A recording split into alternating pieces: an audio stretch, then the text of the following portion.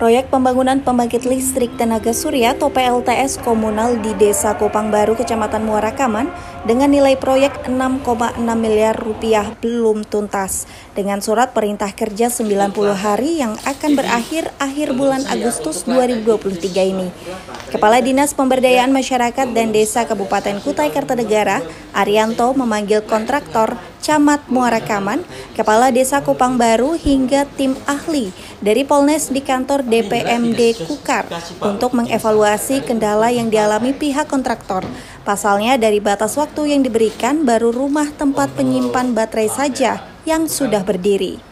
Kontraktor pelaksana CV Surya Pesut Mahakam Sigit Nugroho menyebut proyek tersebut tidak ada kendala sama sekali. Dalam rapat hari ini dari ada berapa yang tadinya tingginya hanya satu meter itu dinaikkan pak ya katanya? Iya betul. Hmm. Itu rencananya kapan pak? Maksudnya berencana Mulai bekerja mulai kapan pak? ya secepatnya Mulai kapan pak? Kan sudah berjalan kontraknya saat ini. sudah berjalan. Kendalanya itu apa sih, Kendalanya Pak? apa nih pak? Tidak ada kendala. Kan ini kan apa namanya yang tadinya tingginya 1,2 kan yang ditakutkan banjir kan. Iya. Nah ini kan apa namanya minta ditinggikan lagi supaya di saat banjir atau di saat air naik itu tidak kena. Nggak ada kendala sih mas, cuman apa namanya eh, faktor waktu aja. Faktor waktu. Masa kerjanya berapa hari pak? Dari anu SPK 90 hari. 90 hari. Sementara itu, Kepala Dinas Pemberdayaan Masyarakat dan Desa Kabupaten Kutai Kartanegara dipanggilnya pihak pelaksana supaya mempercepat pengerjaan sehingga Desa Kupang Baru cepat menikmati listrik tenaga surya. Eh, nanti kita minta eh, ditinggikan untuk panel suryanya. Kemarin kan hanya tingginya kan 120 cm dari tanah. Kita minta eh, sampai 30 eh, 3 meter.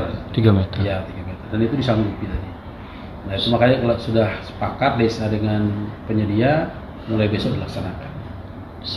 Pak, itu kan seharusnya di bulan ini kalau nggak salah bulan depan tanggal 29 itu harus selesai. selesai. Hmm.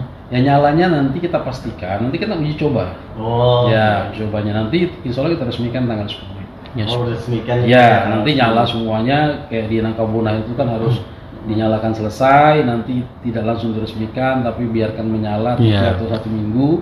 Nah, maka target kita tanggal 10 Oh. sudah menyala semua. Berarti penyelesaiannya akhir bulan ini, Pak? Akhir bulan. Harus sudah selesai. Iya. Sebanyak 180 rumah sudah menanti desanya terang, sesuai dengan program Kukar Idaman Bidang Terang Kampungku. Nantinya 180 rumah dimenikmati listrik tenaga surya dengan daya 600 watt. Sebelumnya Desa Nangkabonah lebih dulu menikmati PLTS komunal yang diresmikan Bupati Kutai Kartanegara Edi Damansyah baru-baru ini. Dari Kutai Kartanegara, Mas Karyadiansyah, iNews melaporkan.